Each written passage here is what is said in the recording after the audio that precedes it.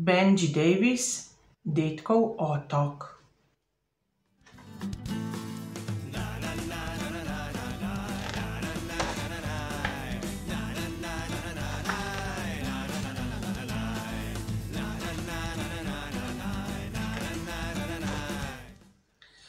Po robu Žigovega vrta, skozi vrata in mimo drevesa je pot peljala do dedkove hiše. Pod loncem z rožo se je skrival ključ, da je Žiga lahko vstopil, kadarkoli je želel. Nekega dne je Žiga spet šel obiskat dedka. Ampak dedka ni bilo nikjer. Že je hotel oditi, ko je zaslišal dedkov glas. Ah, tukaj si, je rekel dedek. Nekaj bi ti rad pokazal. Žiga se je previdno povzpel po lestvi. Še nikoli ni bil na dedkovem podstrešju.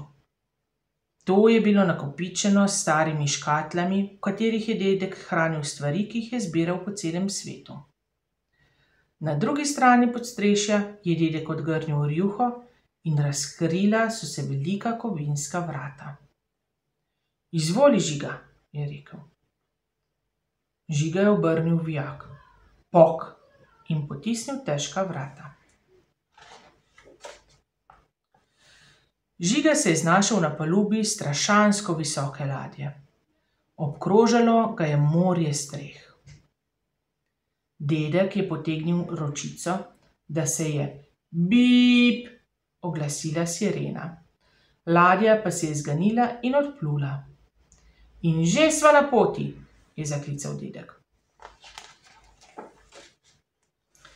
Dedek je bil odličen krmar in njuna ladja je mirno drsela skozi valove. Milje in milje sta videla le morje in nebo, nebo in morje, dokler se ni končno nekaj pojavilo na obzorju.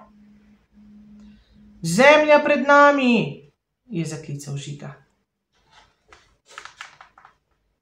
Spustila sta sidro in se odpravila na kopno.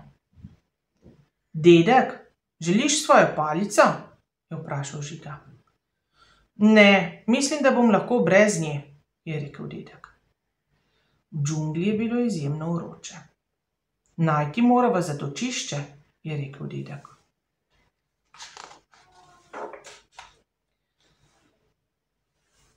Na vrhu otoka, kjer je skozi drevesa vlekla hladna sapica, sta našla staro kolibo.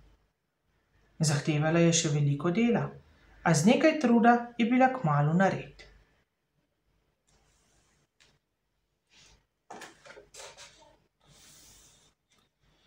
Otok sta raziskala po dolgem in počez. Na vsakem koraku sta odkrila nova čudesa.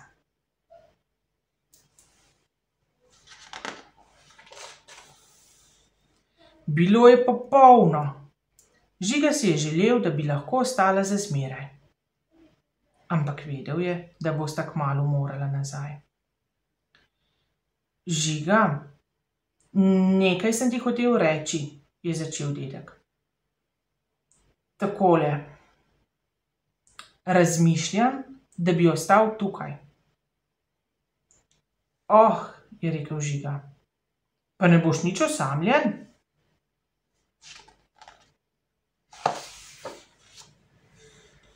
Ne, ne, mislim, da ne, se je nasmehnil dedek.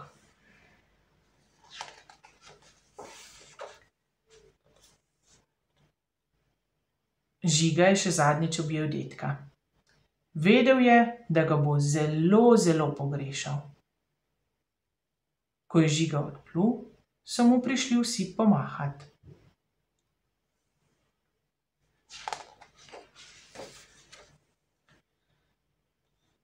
Ladja je rezala in penila valove.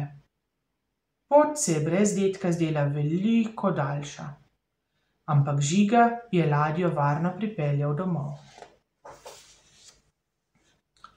Naslednjega jutra se je Žiga spet odpravil do dedkove hiše. Bila je taka kot prej, le dedka ni bilo več. Na podstrešju je bilo vse tiho.